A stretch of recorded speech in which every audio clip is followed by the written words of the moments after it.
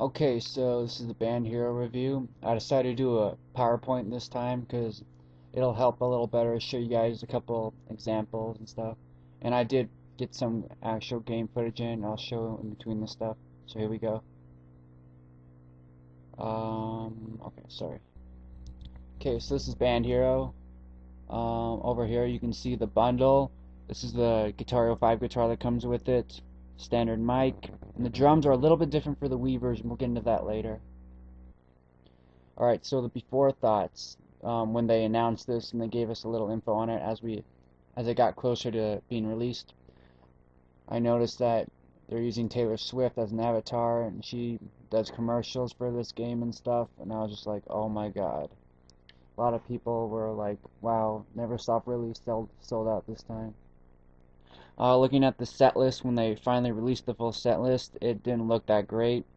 I wasn't crazy about it at all. Um, the this game has a lot of songs sung by girls. In fact, this game has, I think, a third of the set list is sung by a female, which is the most for any Guitar Hero or Rock Band game yet. Using the Guitar Hero 5 format, so yes, this is a rehash of Guitar Hero 5's um, presentation and stuff and almost all the songs on this game are exportable to Guitar Hero 5 and um, some uh, the songs from Guitar Hero 5 are exportable to Band Hero. And you can export so some songs from World Tour and uh, Smash Hits onto this game as well. So I like all the you can export stuff all around which way you want. So the good stuff about the presentation using the Guitar Hero 5 format the this was praised from reviewers for Guitar Hero 5 because the format in that is just so much more easier. You can really pick up on it. Stuff like Party Play really brought this game up a whole nother level. And it's a great experience for even the casual game um, player for this kind of game. And it's colorful. No, this is advertised as a pop-oriented game, so they did fit the colors right. It's got a pretty presentation, I guess for a pop game, continues to include things from previous Guitar Hero games. Stuff like you'll see the music creator where you can create your own custom songs still being included in every single Guitar Hero game since it was first um, released on World Tour. I like to see this stuff. I may not use most of this stuff, but I like seeing that I have the option to use this stuff in every Guitar Hero game yet. I like it when they just keep adding on stuff from game to game. It's a good thing to see and of course it's very user friendly. People new to this experience will be able to pick up on it right away. Bad stuff, it's using the Guitar Hero 5 format.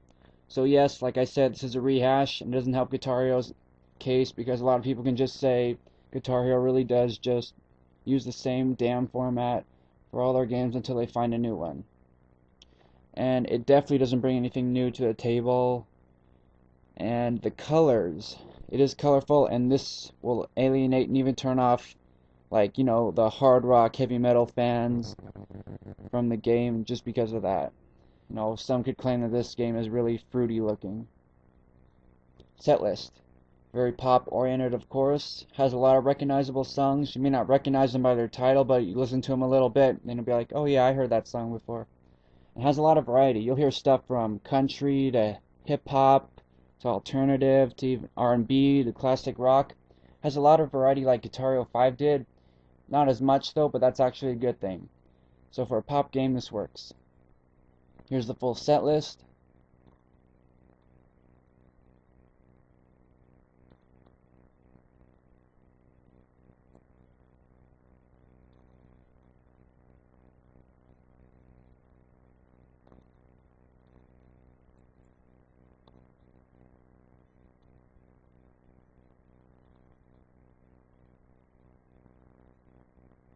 So that was the full set list.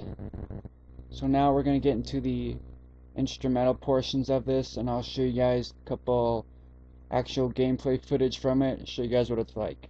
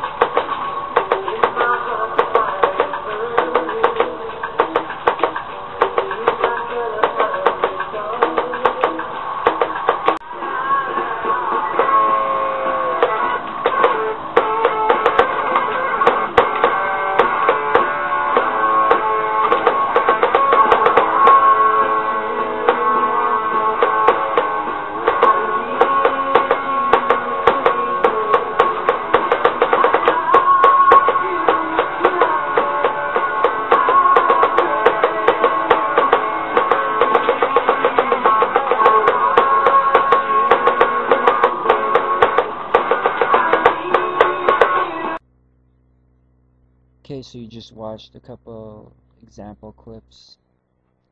So for the guitar, yes, we all knew it was going to be extremely easy. We weren't expecting, you know, like Iron Maiden or Megadeth challenging charts for this game.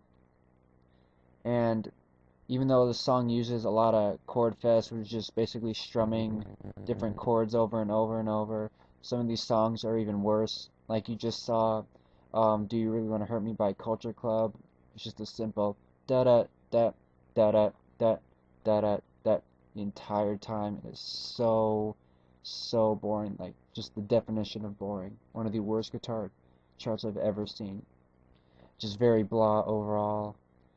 But one interesting thing about it is that, especially for songs like YMCA, they use a lot of non-guitar parts in the charts. They'll chart things from saxophones, the flutes, to I think even an oboe in one song, the trumpets, to even a whole violin section. Uh, that was one interesting thing I found about it. But otherwise, these guitar charts are just, oh my god, horrible. Just absolutely. Um, you're not going to get much out of it. Sorry.